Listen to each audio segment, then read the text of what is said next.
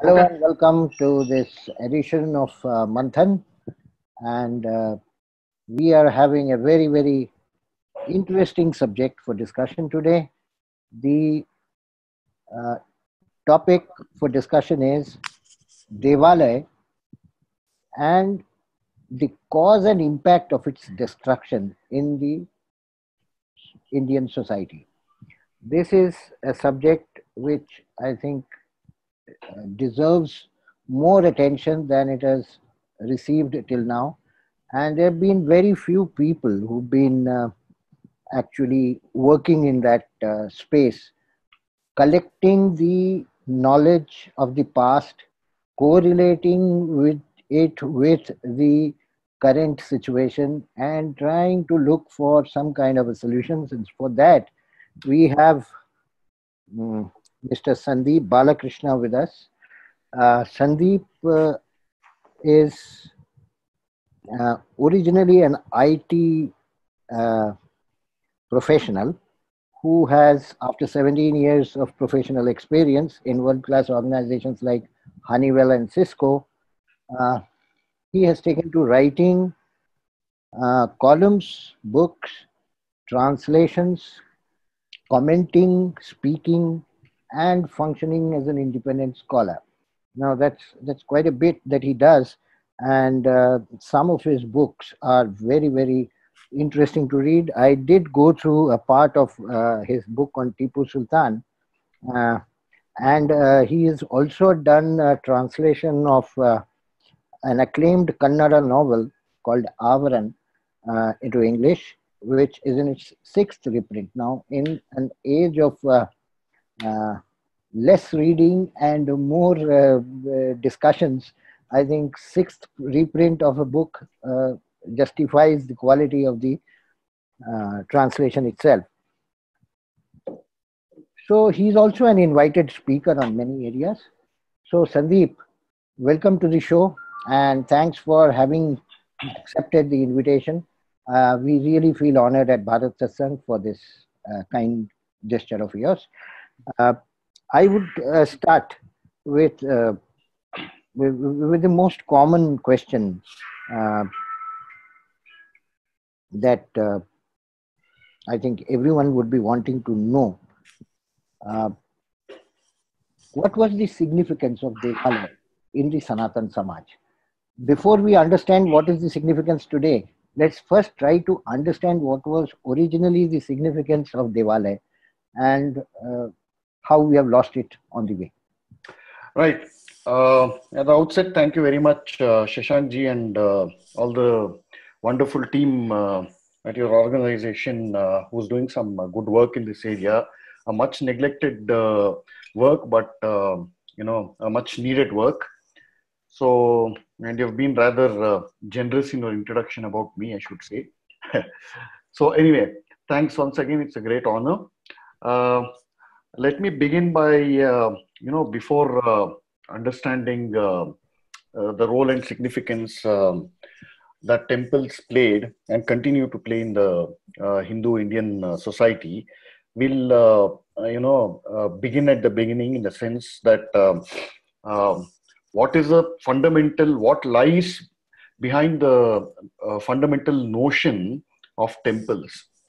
So if I can take about three or four minutes to say that, if you look at the conception and the origin and how uh, temples evolved, uh, today and, and not just today, but uh, uh, over the last at least 1,500 years, you know, temples have evolved largely as physical and architectural structures with great scope for expressing creativity, art, and uh, other allied uh, expressions of uh, human creativity. So, behind all this is a very simple fact. Temples represent one of the finest, they represent one of the deepest and grandest, and also one of the most profound expressions of the innate human spirit.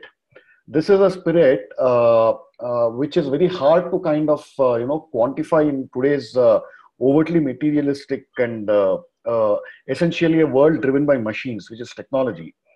Uh, so if you look at it from that perspective, temples are one of the most profound expressions of this uh, human spirit of awe, of wonderment, and it is a timeless yearning for spirituality, philosophy, and art. So when all these are given physical expressions, they become temples in say uh, stone, wood. Uh, earlier temples used to be constructed in wood, right? So when you look at this, uh, you notice different forms of temples in almost all ancient civilizations, including the Minoan civilization, Greek civilization, uh, Egyptian, Roman, Chinese, Inca, Maya, and uh, uh obviously uh, the Bharatiya civilization. Uh, all of us, in fact, especially when we go to these fabulous and you know timeless old temples, you're immediately struck by this uh, uh, you know sense of this spiritual yearning right? Uh, uh there is a uh, what do you call uh, unquantifiable experience of belonging to something sacred right? So but then what is also important here is that almost no temple of non-indian civilizations that is ancient non-Indian civilizations. None of them, almost none of them survives today, uh, thanks largely to the destructive encounter with Christianity and Islam. Right. Uh, so uh, from there, I'll move on to quickly to uh, discussing the role, significance, and the preeminence of Hindu temples, which becomes abundantly clear when you regard uh, these temples uh, in the light of our history. I mean, India is the oldest non-Abrahamic surviving religion, right? Surviving almost intact. So, uh, if you look at the word uh, temple, the origin of the root of the word temple in uh, Sanskrit and other Indian languages, uh, they are known as variously known as uh, Devalaya, Devasthanam, Alayam, Mandir, uh, Kovila in, in Telugu, Koil in Tamil, and so on. If you look at the etymology of Devalaya, we can derive it like this. Okay, it is Devasya Alayaha or Devanam Alayaha, which means it is a place uh, where uh, resides light, sport, victory, transaction, prayer, prayer in the sense of stuti, joy, bliss, dream, beauty, and dynamism, and uh, you know several other such uh, meanings can be derived from that. So now, if you look at the pre-Christian uh, Western civilizations, they developed the temple culture, that is uh, pre-Christian Western civilizations, including Greek and Rome. Sorry. Uh, these civilizations developed a temple culture largely as places for public congregation, for divi uh, uh, divination and uh, and this was a limited purpose there in those civilizations. But then it was only in India where it was elevated uh, in an all-encompassing sense. For example, if you take the English word temple, which means uh, the location spanning the two sides of your uh, forehead. Uh, so if you look at the forehead, it is obviously flat and it is a temples that kind of support it at both sides. So it resembles a sacred altar, right? Like a platform, like an altar. So in the uh, Indian conception, the entire body itself is a temple. It is regarded as a temple. Uh, and for example, you can look at uh, you know some uh, brief shlokas like uh, Deha Devalayaha Proktaha Jivo Devastanatanaha and uh, Hridaya Tadvijaniyat Vishwasyayatanam Mahat. And I mean, you can uh, uh, derive all these directly from the Vedas. now, I'll, I'll regard uh, the temple, the body as a temple and see what all we can derive from there. Now, the feet become the main doors of the temple. The reproductive organ becomes the Dhwajastambha. The stomach becomes the Balipitha. The heart, I'm sorry, the heart becomes the Navaranga. The neck becomes the Sukhanasi. And the head becomes a Garbhagriha. So, at once, what you can also see is that a temple represents and it encompasses all the three stages or stara called Adibhuta, Adidaiva, and Adhyatma, right? So from this, uh, I will come to what is uh, uh, known as the Devalaya ecosystem, which will uh, answer your question as to you know how uh, what was the role of uh, temples in our society and civilization. So, from whatever I just discussed, all these conceptions, when they began to be translated uh, as temples in real life, as physical structures, physical spaces, what happened was that it gradually led to the evolution of what I will call as a Devalaya or temple ecosystem. So, a Devalaya ecosystem is a cultural uh, and a social accomplishment, and it is a civilizational peak which is unparalleled anywhere in human history. Hmm. You just regard this, look at how many countries are there in the world today, and across the vast geography, across all the continents, uh, it is very evident, right, that no such uh, uh, accomplishment no uh, has been uh, done by any other non-Indian or non-Hindu civilization. Now, you can also observe the fact that even today, somewhere in India or even uh, in this globalized world, somewhere in the world, uh, either an old temple and either a new temple is being built or some other old temple is being renovated in some or the other corner of India. So, what does this tell you? It is the greatest evidence that uh, to show the not only the endurance and longevity of uh, the roots of this temple culture, but it is also an eminent proof that as long as Sanatana Dharma survives in the world, it will invariably find its expression in temples. Hindus simply cannot live without building temples. And uh, I will, I don't mind repeating this even a million times. Hindus simply cannot live without building temples, right? So now uh, you can look at this as you know the Devalaya ecosystem from another perspective. Uh, this is a perspective of the Trigunas, which uh, is well known.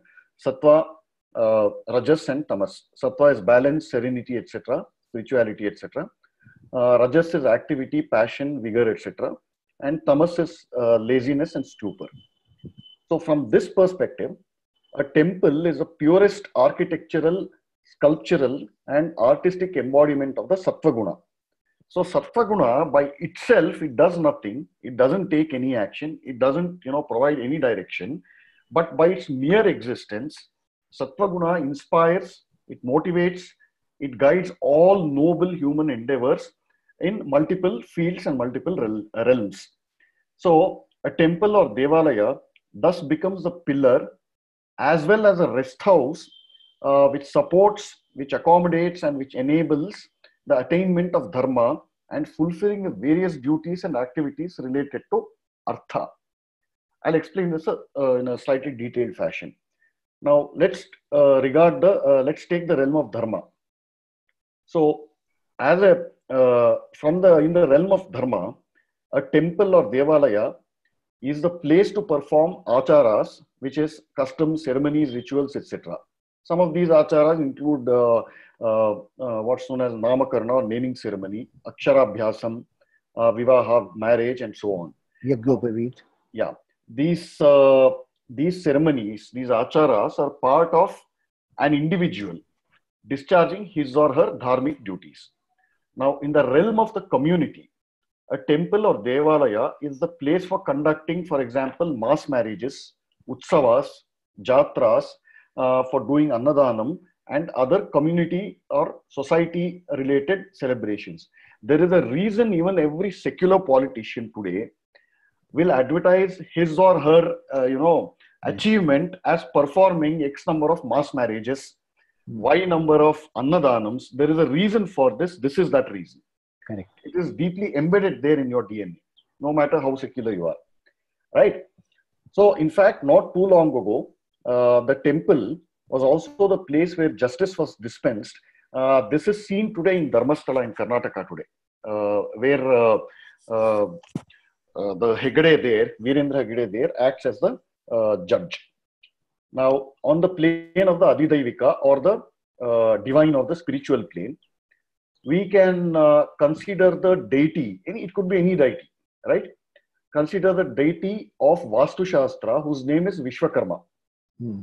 his son, his uh, he had nine sons, which included uh, you know people like um, there was a guy called uh, Malakara, a Darukara, a Kuvindaka, uh, a Kumbhakara, a Sutradhara, and others.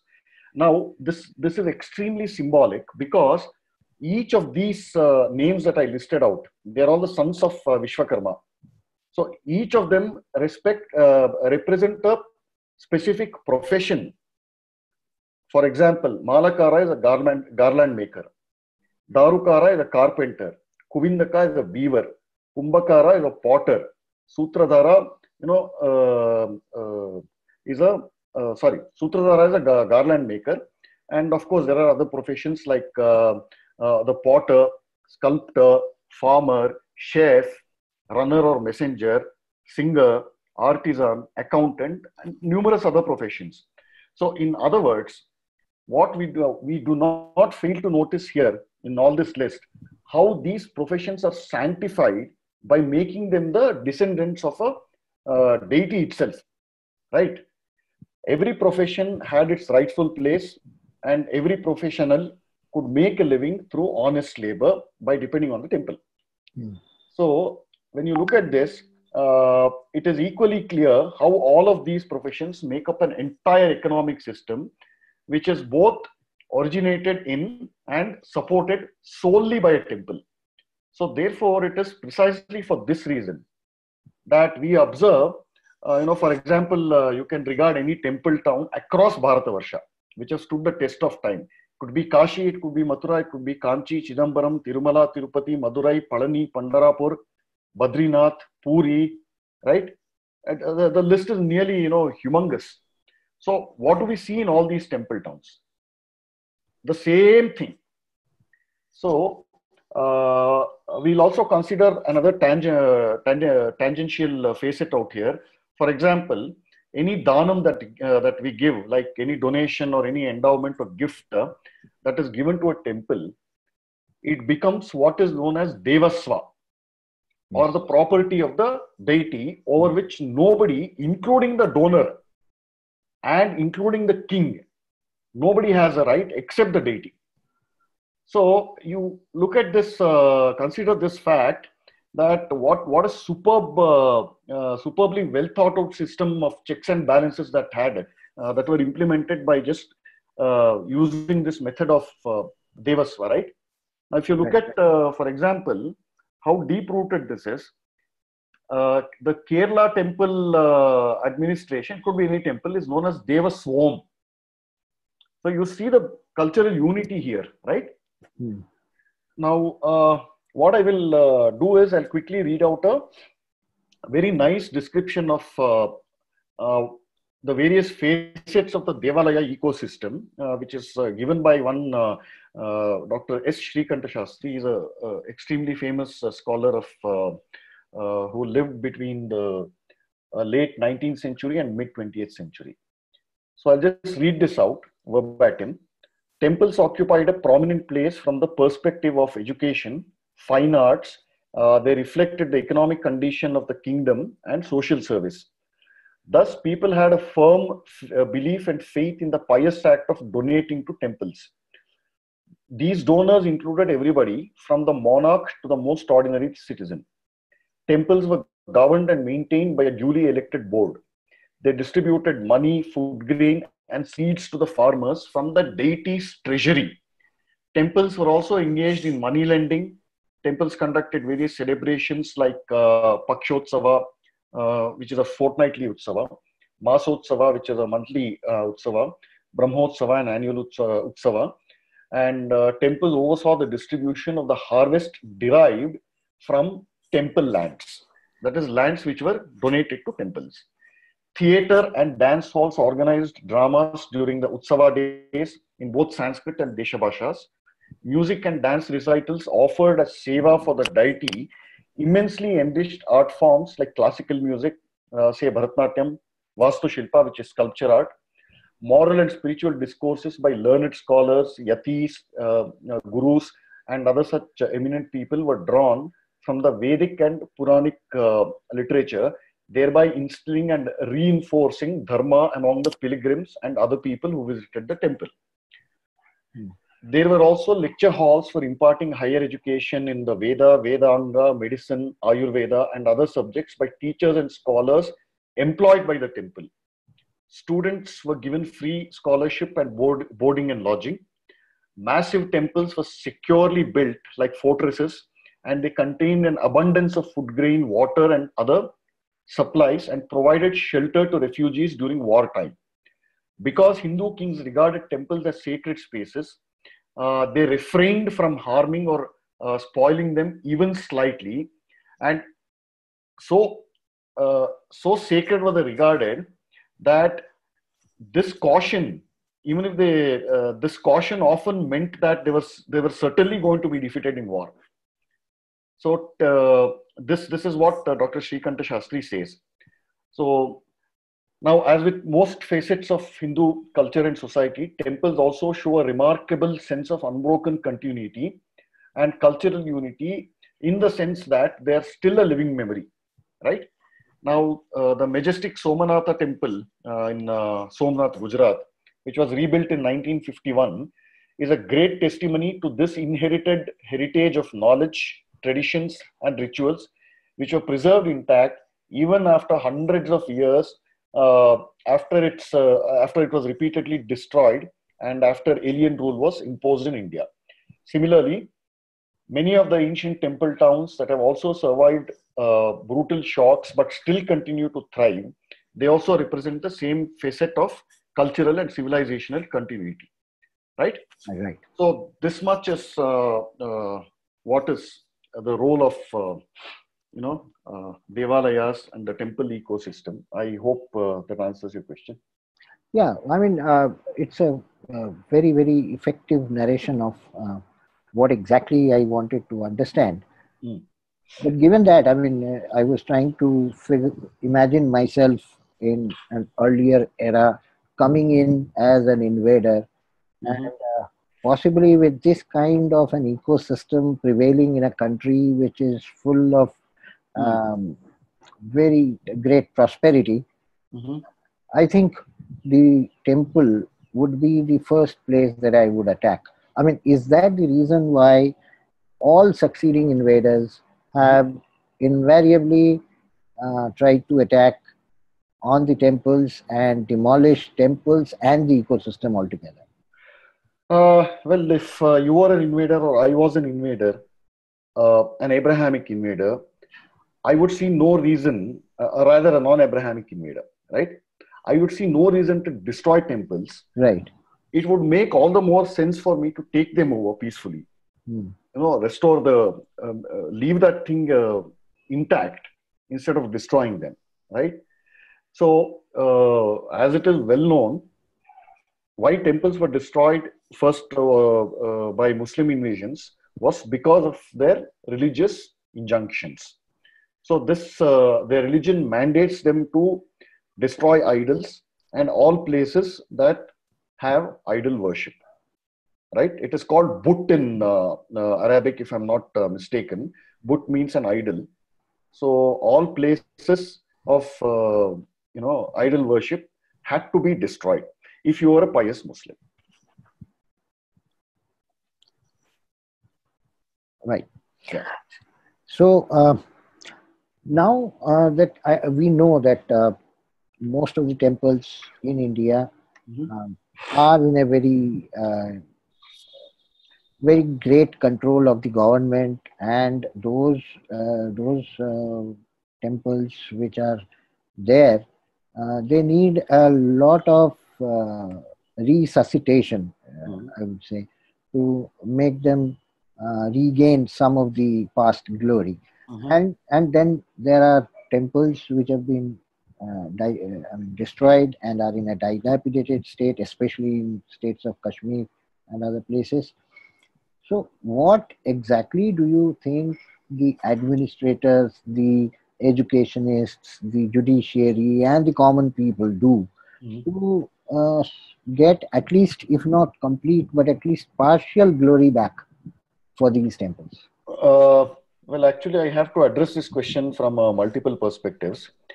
Uh, the first thing is that uh, uh if you have to, I'm not a big proponent of you know reviving past glory, uh, because you know you you will be stuck in a sort of a time warp. They were Right. glorious for a reason because they had a ecosystem, uh, they had a society and a government and a what you call a general social outlook, right? Which made this glory possible. Now, in today, especially after India adopted democracy, I should say, or uh, roughly even after the British kind of uh, introduced their education, that social structure has been, uh, you know, slowly, steadily, and even at sometimes, uh, some points in time, even rapidly eroding, right? So now, if you look at any temple, right, it is sustained by the community, right? And that community is in turn sustained by, you know, protected by government, which understands the value of uh, what a temple stands for. Now, unless uh, you know, you can achieve only so far, so much by uh, you know litigation and uh, uh, you know movements. I'm not. I'm not. Uh, this is an argument. It is not an argument against that. But the point is, uh, now look. For instance, uh, the sari for uh, the clothes, rather clothing for uh, uh, Lord Balaji or Venkateshwara in Tirupati comes from a uh, business house called Nalli Silks, which is fairly famous in uh, uh, South India. Yeah. Right now, why? What, give me one reason why Nalli Silks only should uh, send the sari to the god there. So this is an endowment that has come from ages, right? And you had a society that respected all these things. Now the backbone of this society uh, that sees this kind of intrinsic value in a temple tradition is gone. We have broken that social uh, uh, backbone of the Hindu society, right? So even if you kind of say free it from government temple, the question will arise: is that can you completely stop temples from being corrupt, uh, temple administrators from being corrupt? Right. right so now you also have all these uh, you know great temples of the past who uh, who have more or less preserved their inscriptions endowments and uh, all these kinds of things right so these documentation to read and understand them you hardly have anybody today. Yes. who, who's trained i mean this requires special training to decipher them and understand them right? So you look at all this chain reaction right? So one thing is linked to the other. So even if one link in the chain is broken the entire thing collapses which is exactly what has happened. Okay. So, how do you, uh, what do you recommend for uh, getting out of this morass? no no very simple. Like anything you should have a government and i i make no bones about saying this which is which should be a hindu government which should understand this the value of, of this thing so because unless this is gone today you were uh, looking at this uh, news of some uh, um Ishvara temple being forcibly taken over by uh, Christians, and this is the Hindus are going in jail. Yeah. So why does this happen? You have allowed this to happen. Hmm. Ah, okay, one of temples will take over today Hmm. and then one week later some other temple you take over today then force them out impoverish the temples impoverish the priests you know Mm. why should an ias administrator officer sit on the administration board of a temple Hmm. so this was never the case Hmm. because everybody out there uh, th- there is a reason they've been preserved for intact for uh, such a hundreds of years of uh, uh, you know history Hmm. Hmm. Right? Because everybody understood the value. They felt an innately uh, innate sense of sanctity towards the temple. Right. you don't have that anymore. I'm not saying uh, nobody has it but the point is that innate sense of uh, sense of sanctity is gone. Hmm. now, all these big temples right? Why are they so filthy? Hmm. why are Yeah. they so filthy? It, it- it is a, yeah. So it's the hindus who are creating that filth there so Hmm. this is not this is not a comment uh, against their bhakti or whatever but Hmm. you can't you can't be selective about you know uh, okay i'll take i'll maintain only this much in the temple rest i'll disregard like Hmm. i said these are all links that go to make up that chain Hmm. right why, why should i say for example puri jagannath temple it is unbelievably dirty Yes. right so Mm. The external cleanliness and hygiene plays a if if these temples, if Hindus consider these temples as such sacred spaces, at least show it in uh, by maintaining them, you know, uh, in a clean fashion, right? Hmm. And it doesn't take much. I It mean, doesn't take much at all. It doesn't Yeah, take uh, anything at all. actually, one juxtaposition that immediately comes to my mind Hmm. go to any Gurdwara, Hmm. absolutely spick and span, Correct. absolutely dust free. Yes. That, and that is done by voluntary services, not, not, yeah. not yeah. by any kind of uh, There's no enforcement. no, no enforcement at all. Hmm. So I, I think and and uh, I think the social services that uh, Gurdwara does Hmm. uh, is almost uh, an extension of what a temple used to do in earlier times. Absolutely. Absolutely. Gurudwara also evolved from uh, temple From a temple concept only. yeah. But they have preserved the uh, Hmm. cleanliness and Hmm. other things, Yes. Yes. which I think Hmm. that that has to be inculcated by the Hindu people also. Absolutely. So how do you? I mean, uh, from where do you get your uh, bhakti when when when the whole place is stinking, right? You Right. want to get out of the place, do your namaskaram, and get out of the place as soon as possible. and then then that namaskara also becomes out of a selfish greed of Egg- getting some uh, reward from the lord uh, precisely. So correct. So there you go. So you have destroyed the innate sense of sanctity that is within each of us. yes right you either you either go there to beg for something or bribe the god for something or you know uh, generally to soothe your uh, uh, guilty conscience. Yes. So so uh, what it ultimately proves is that any degeneration or degradation of uh, devalaya Hmm. is essentially a symbol of of a degradation in the people uh, in not being able to uh, sustain the sanctity of the place. Absolutely. Absolutely so what has happened is you look at uh, see how all these things are interrelated. Now earlier uh, not earlier not not far to, even just 50 years ago for example 50 60 years ago every village had some clearly demarcated uh, sense of social harmony. You had a village elder a wise person right uh, who would you know take care of uh, troubled families and you know offer them words of wisdom advice right uh, during utsavas and all that so it ensured a social cohesion what has happened now all those wise people are gone they've either been uh, forced to move to the city so who else is left there why have our villages become they have become hotbeds of uh, caste politics nothing Yes. else yes politics and land grabbing land grabbing main activity Yeah. out there Yeah. So why does this happen? Because of this. Yeah. So, like I said, all these things. That is why you have to be very careful in you know uh, uh, before embarking on these uh, one size fits all approach of uh, so-called liberating temples. Before you, you don't need to liberate temples unless you kind of first build a groundwork, revive the ground base that is that will automatically take care of restoring these temples right right? I mean, nothing acts like a, uh social pressure. Now, when you have some 50,000 people saying that we want this temple to be like this, all this nonsense should stop right now. Hmm.